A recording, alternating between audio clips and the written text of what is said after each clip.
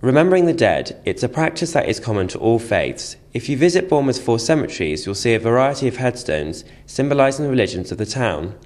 But one community doesn't have a burial ground of its own. The Islamic community makes up 0.9% of Bournemouth's population and is of a similar size to the Jewish community. But while the Jewish community have three cemeteries, the Muslims have none. Instead, they bury their dead in unconsecrated ground at the Northern Cemetery in Charminster. But many families go to the Islamic Cemetery in Southampton. The Islamic Centre has been looking for a burial ground since 1993. Bournemouth Council had told them that no land was available, so the centre turned to Poole Council. They told the centre that there were plans for a new cemetery on Magna Road and that they could have an area there.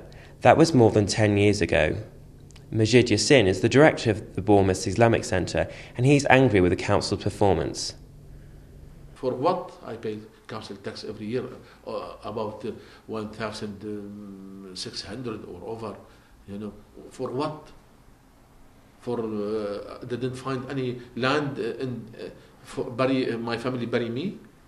Where will uh, put me in the sea? Bournemouth Council's bereavement services say they satisfy all religious burial needs.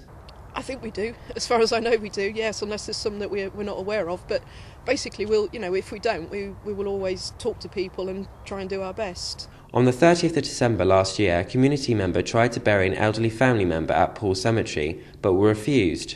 Bournemouth Cemetery did accept the body, but charged the family extra because the grave pointed towards Mecca. It was a Sunday, and they were Poole residents. When we bury him, it was in. Uh, end of December, we paid the, uh, the family, his family paid about 4,000 pound cost of uh, the funeral. It is not fair. Julie Dunk disagrees. I don't think it's unfair. I think actually it would be unfair if we only charged the Muslim community that, or the Jewish community that, or the Church of England community that, but the fees are standard throughout. Dorset Racial and Equality Council support the Muslim community.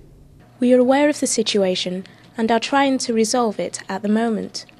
We support all the factual information Bournemouth Islamic Centre has provided us. With no start date for the cemetery on Magna Road in sight, it is still unclear whether Bournemouth's Islamic community will receive a burial area to call their own.